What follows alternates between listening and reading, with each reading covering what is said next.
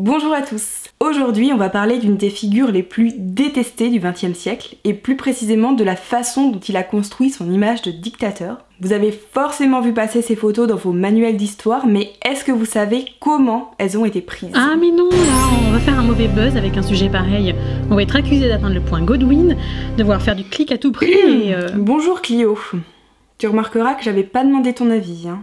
Et d'ailleurs, depuis quand les applications de téléphone ont un avis? C'est parce que je ne suis pas une application, je suis la muse de l'histoire, la fille du tout-puissant.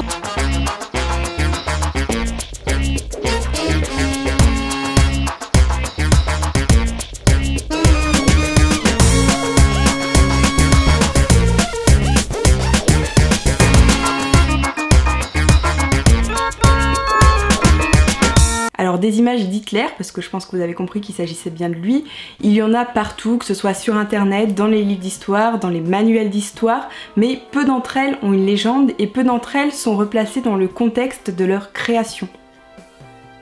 Clio La suite Oui bon, ça va. Ces photos qui nous semblent si familières, elles viennent en majorité d'un seul et même homme, Heinrich Hoffmann, le photographe officiel d'Hitler et l'un de ses amis. Hoffman dirige une agence photographique qui a le quasi-monopole de l'image d'Hitler. Les chiffres sont d'ailleurs assez incroyables puisque, euh, par exemple, rien que dans la bibliothèque de Munich, il y a plus de 12 000 photos d'Hitler qui sont signées par Hoffman. En 1945, les troupes américaines auraient saisi plus de 2 millions de photos dans son agence. Alors cet homme qui est si important pour le régime nazi est né en 1885. Il va très rapidement se rapprocher de l'extrême droite et il va intégrer le parti nazi bien avant que celui-ci soit connu en 1920. À cette époque, Hitler n'est pas très à l'aise avec les photographes. Au contraire, il s'en méfie et craint que ne paraissent des images qui ne lui soient pas favorables ou qui le rendent ridicule. Du coup, quand Hoffman va se rapprocher d'Hitler pour euh, faire un portrait de lui, Hitler va refuser tout net. Mais le problème, c'est qu'Hitler a désespérément besoin de se construire une image qui le rendrait euh, charismatique, euh, admirable et même euh, séduisant. Et une image qui pourrait bien sûr circuler. Aussi, les choses changent quand il est mis en prison en 1923 après une tentative ratée de coup d'État, ce qui le rend célèbre. Il appelle Hoffman pour qu'il lit photographie. La mise en scène est très travaillée et très efficace. Hitler pose de manière digne et regarde au loin, à travers les barreaux d'une prison, comme s'il regardait dans l'avenir. Et cette photo a un grand succès. À partir de là, Hoffman va rentrer dans le cercle des intimes d'Hitler et va s'employer à faire de lui une véritable icône. Mais le truc à préciser, Clio, c'est que ce photographe, Hoffman, il se trouve qu'il était particulièrement mauvais. Techniquement, il était carrément médiocre, il n'apporte strictement rien à l'histoire de la photographie, et d'ailleurs, si on regarde bien, toutes ces mises en scène sont toujours très répétitives. Certes, on pense que celle-ci était décidée par Hitler et que Hoffman ne faisait que se plier devant sa volonté. Mais cette médiocrité, ça lui sert aussi d'argument. Hoffman prétend ne pas être un artiste, mais juste un type qui témoigne de ce qu'il voit, qui montre la réalité. Mais Clio, une photo, c'est toujours un point de vue comment le photographe se place, ce qu'il choisit de mettre dans son angle de vue, dans son cadre, euh, l'objectif qu'il va choisir, tout ça n'est jamais neutre. Hmm, oui, faisons une petite parenthèse, tu veux bien? Quand la photographie a été inventée au 19e siècle, beaucoup ont cru qu'elle était documentaire, en montrant le monde tel qu'il est, sans le transformer comme le font les artistes. D'ailleurs, ça explique qu'on s'en soit servi pour des enquêtes ethnographiques, à savoir pour enquêter sur des populations humaines. Moi, enfin, je pense qu'on s'est vite aperçu que c'était quand même assez naïf. Hein. Entre les artistes photographes et la Première Guerre mondiale où les pouvoirs en place ont censuré des images, en ont diffusé d'autres, c'est aussi un moyen de transmettre une idée. Et oui, et cette prise de conscience s'accompagne du début de l'exploitation intensive des photos, avec les cartes postales, les albums, et surtout la naissance du photojournalisme dans l'entre-deux-guerres. La presse devient illustrée, il faut imaginer le basculement, on peut désormais mettre des visages sur le nom des gens dans les journaux. D'où l'importance pour Hitler d'avoir ses propres photos à diffuser. Il compte s'en servir pour se glorifier lui-même, puis pour glorifier son régime quand il arrive au pouvoir en 1933. La photographie devient une véritable arme de propagande. Notons qu'à l'origine, le mot propagande est un simple synonyme de communication. Mais le sens change notamment à cause du régime nazi. Non seulement on matraque de manière répétée les mêmes idées et les mêmes images, mais en plus on laisse pas de place à un droit de réponse de l'opposition qui est soit réprimé, soit euh, assassiné. Mais alors Clio, comment Hoffman s'y prend pour construire l'image que l'on connaît d'Hitler? Il tâtonne au début. Tous ceux qui ont approché Hitler et qui l'ont décrit ont souligné son aspect insignifiant. C'est ce que Hoffman doit changer. Il tente ainsi plusieurs mises en scène. Hitler lui-même se sert de la photo pour construire sa gestuelle et la rendre plus marquante. Ces photos de 1927 n'ont pas été prises lors d'un meeting, mais bien dans l'atelier d'Hoffmann. Hitler, qui était un bon tribun, s'entraîne à faire différentes émotions, différentes poses devant un miroir et l'appareil photographique. Ces photos sont ensuite vendues comme des cartes postales dès 1928. Le dictateur apparaît seul ou entouré d'une foule compacte. Lorsqu'il est avec plusieurs personnes, il est toujours dominateur. C'est lui qui parle, qui montre du doigt, ou qui tout simplement est plus grand ou plus visible grâce à des effets de plongée ou de contre-plongée. Il apparaît à la fois proche du peuple et inaccessible. Peu de sourires, pas de lunettes, peu d'accessoires. Hoffman le photographie à une certaine distance pour rendre invisibles tous les défauts physiques, tout en gardant des compositions qui sont simples et donc facilement visibles. Les retouches sont monnaie courante. Ainsi, sur cette image, Hoffman a éclairci les yeux de son modèle pour les rendre plus perçants. Il recadre aussi beaucoup pour éliminer ce qui entoure Hitler. Ouais, en fait, les retouches, ça existait bien avant Photoshop. En bref, l'image d'Hitler se formalise autour de quelques signes qui le rendent immédiatement reconnaissable, encore aujourd'hui. Sa mèche de cheveux et sa moustache. Les différents clichés sont faits pour circuler et s'adressent aux différentes couches de la population. Ils sont là pour démontrer quelque chose.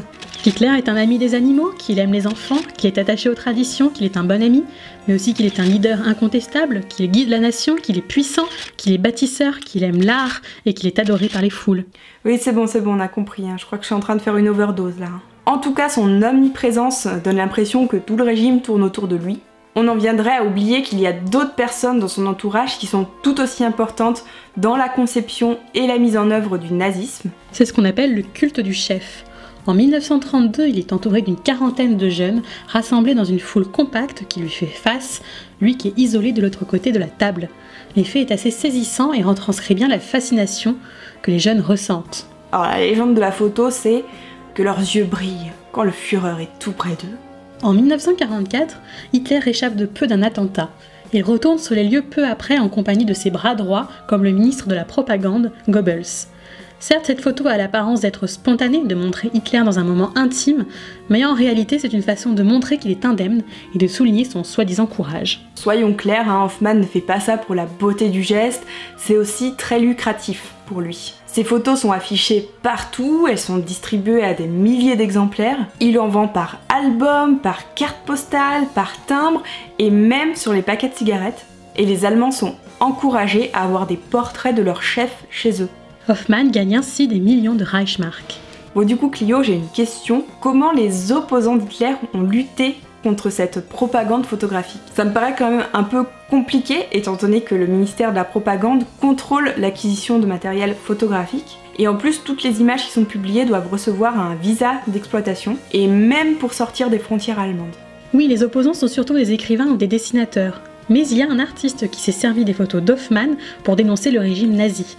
Il s'appelle John Hertfield, de son vrai nom Helmut Hersfeld, qui publie des photomontages dans une revue communiste allemande. Il doit d'ailleurs s'exiler dès 1933, même si il va continuer à envoyer son travail à sa revue, qui euh, cessera de paraître 5 ans plus tard. Hertzfield va utiliser de véritables photos d'Hitler qu'il va découper avant de les coller dans d'autres photos. Ensuite, il va lisser les raccords, harmoniser les tons et il reprend une photo du tout. Son idée, c'est de rendre visible ce que Hitler et le régime nazi tentent de cacher derrière leurs photos de propagande. Ici, il dénonce le fait que les grands industriels financent Hitler. Sur cette autre image, le dictateur s'apprête à égorger un coq qui représente la France.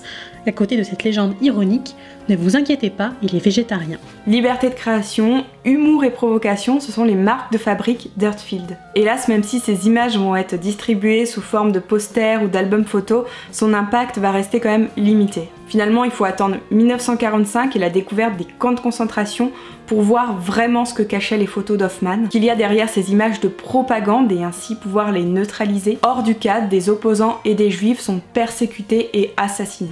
Ce sont d'ailleurs des photographies des camps qui vont circuler dans le monde entier et qui permettront de faire connaître toute l'horreur du régime nazi. La photojournaliste américaine Lee Miller a été l'une des premières à entrer à Buchenwald et Dachau. Elle sera obligée d'écrire à son magazine Vogue pour certifier que ces clichés sont authentiques car on ne voulait pas la croire et la frénésie photographique du régime nazi va d'ailleurs se retourner contre lui. On l'a dit, en 1945, les Américains vont saisir les fonds d'Hoffmann pour les trier. Et s'en servir comme pièce à conviction lors des procès des responsables nazis à Nuremberg. Hoffmann n'est alors qu'un simple témoin, mais en 1947, il est condamné à 10 ans de prison et à la confiscation de ses biens. Sauf qu'à la faveur d'une loi d'amnistie, il est relâché trois ans plus tard et on lui rend une partie de ses biens. Proche d'Hitler, Hoffman n'a pourtant pas été un simple témoin ou un simple exécutant. Il a au contraire pleinement favorisé la politique nazie par sa propagande et a largement profité du régime. Jusqu'à sa fin, bien tranquille en 1957, il dira ne rien regretter. Bref, tout ça nous pose une question finalement à nous autres. Que faire de ces photos? Peut-on les utiliser, les exposer sans nous faire avoir à notre tour par leur mise en scène? Ne faudrait-il pas en permanence les remettre dans leur contexte et apprendre à chacun à les décrypter? Et il faut aussi se méfier de la fascination qu'elles pourraient exercer. Merci beaucoup d'avoir regardé cette vidéo, on espère que le sujet vous a plu. Avant de partir, on voulait vous dire que pour ce sujet, on s'est inspiré du catalogue d'une exposition qui a eu lieu à Montpellier qui s'appelait Un dictateur en images. Et d'autre part par le thème des rendez-vous de l'histoire de Bois 2018 où nous étions, à savoir donc l'image et son utilisation en histoire. Merci à tous pour votre attention et à très vite pour une nouvelle vidéo.